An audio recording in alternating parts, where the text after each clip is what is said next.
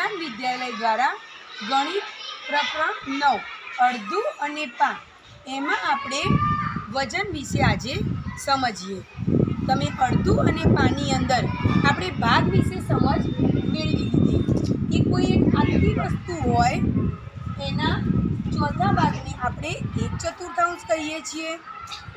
કોઈ આખી વસ્તુ હોય, એના બે અડધા ભાગ કરે, તો એના એક ભાગને આપણે એક દ્વિતીયાંશ કહીએ છીએ. જ્યારે કોઈ આખી વસ્તુ હોય, એના ચાર ભાગમાંથી ત્રણ ભાગને આપણે પોણો ભાગ એટલે કે ત્રણ ચતુર્થાંશ કહીએ છીએ. અને કોઈ વસ્તુ આખી આખી પૂરી હોય, તો એને એક આખો ભાગ એવું આપણે કહીએ છીએ. હવે બાળક મિત્રો, અહીંયા આપણે બાટ વિશે સમજ મેળવવાની છે. જુઓ બાળકો, અહીંયા આપણી પાસે કેટલાક બાટ છે. જુઓ આ શેનો બાટ છે? એક કિલોનો. આ કેટલા વજનનો બાટ છે? પાંચસો ગ્રામનો. આ કેટલા ગ્રામનો બાટ છે? બસો ગ્રામનો. આ કેટલા ગ્રામનો બાટ છે?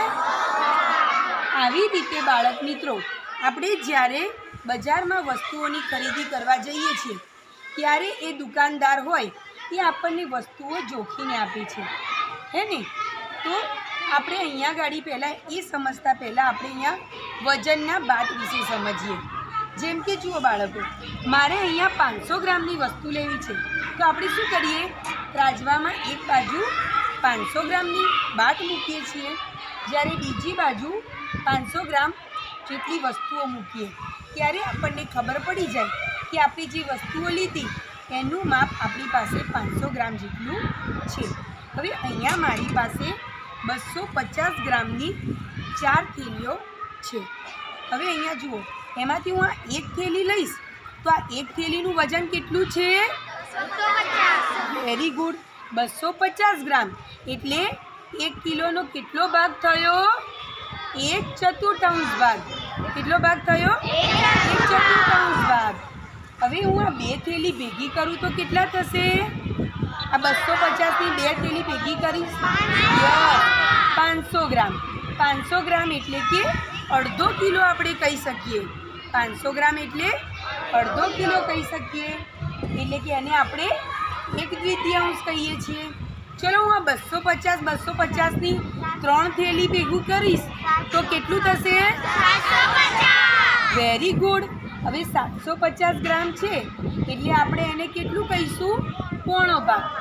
એટલે કે એને ત્રણ ચતુર્થાંશ ભાગ કહેવાઈશું અને આપણે જ્યારે આ ચારેય થેલી ભેગી કરીએ એટલે બસો પચાસ ગ્રામની ચાર થેલી ભેગી કરીશું તો કેટલું વજન થશે આપણી પાસે?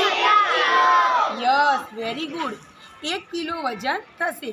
અને એક કિલો એટલે કેટલા ગ્રામ થશે બાળક મિત્રો? યસ એક કિલો બરાબર એક હજાર ગ્રામ વજન થશે હવે માની લો કે તમે બજારમાં ગયા છો. બરાબર? અને તમે બજારમાં ગયા અને તમારી પાસે કોઈ વસ્તુ તમે લીધી. હવે એની પાસે પાંચસો ગ્રામ વસ્તુ તમે માગી છે. પણ એની પાસે પાંચસો ગ્રામની વસ્તુ બાટ નથી. તો એ શું કરશે? તો જુઓ બાળકો. અહીંયા જો એની પાસે પાંચસો ગ્રામની વસ્તુ લેવી હશે. આપણે વધારે ઊંડી સમજ લઈએ બાટ વિશેની. પાંચસો ગ્રામનું વજન લેવું હશે, તો એ પાંચસો ગ્રામનો બાટ મૂકશે. પરંતુ જો એની પાસે પાંચસો ગ્રામનો બાટ નહીં હોય, તો એ બસો પચાસ ગ્રામના કેટલા બાટ લેશે? બે બાટ. વેરી ગુડ ચલો, અહીંયા એને ત્રણ ચતુર્થાંશ કિગ્રા લેવું છે. ત્રણ ચતુર્થાંશ કિગ્રા એટલે કેટલા ગ્રામ થશે? સાતસો પચાસ ગ્રામ. તો હવે સાતસો પચાસ ગ્રામ માટે એ શું લેશે? પાંચસો ગ્રામનો કેટલો બાટ લેશે? એક બાટ. અને બસો પચાસ ગ્રામના કેટલા બાટ લેશે? એક બાટ. અથવા જો એની પાસે પાંચસોનો બાટ નથી, તો એ બસો પચાસ ગ્રામના કેટલા બાટ લેશે? ત્રણ બાટ. આ જ રીતે, ચલો માની લો કે એને ત્રણ કિલો વજનની વસ્તુ લેવી છે તો તો એના માટે એ એક કિલોના કેટલા બાટ લેશે? ત્રણ બાટ. પણ એની પાસે જો કિલોના બાટ નથી, તો પાંચસો ગ્રામના એ કેટલા બાટ લેશે? છ બાટ. વેરી ગુડ હવે ક્યારેક મમ્મી અહીંયા આપણને બે પૂર્ણાંક, એક તૃતીયાંશ કિગ્રા આપ્યું છે? એટલે આપણે વ્યવહારુ ભાષામાં એને શું બોલીએ છીએ? અઢી કિલો.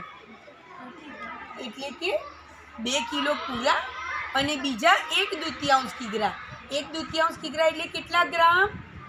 પાંચસો ગ્રામ. એટલે કે બે કિલો અને ઉપર બીજા પાંચસો ગ્રામ. હવે બે કિલો અને પાંચસો ગ્રામના વજન માટે એ કયા કયા બાટ લેશે?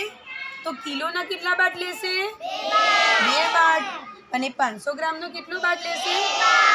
એક બાટ. બરાબર? તો અને માની લો કે ચલો એની પાસે પાંચસોના બાટ નથી. તો એ શું કરશે? એક, બે કિલો માટે એક કિલોના કેટલા ગ્રામ લેશે બાટ બે બાટ અને ઉપરના પાંચસો ગ્રામ માટે બસો પચાસ ગ્રામના કેટલા બાટ લેશે? બે બાટ આ જ રીતે ત્રણ પૂર્ણાંક, ત્રણ ચતુર્થાંશ કિગ્રા.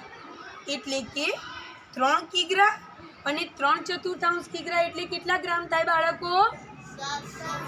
યસ, સાતસો પચાસ ગ્રામ. એટલે કે ત્રણ કિગ્રા પૂરા અને ઉપર બીજા સાતસો ને પચાસ ગ્રામ.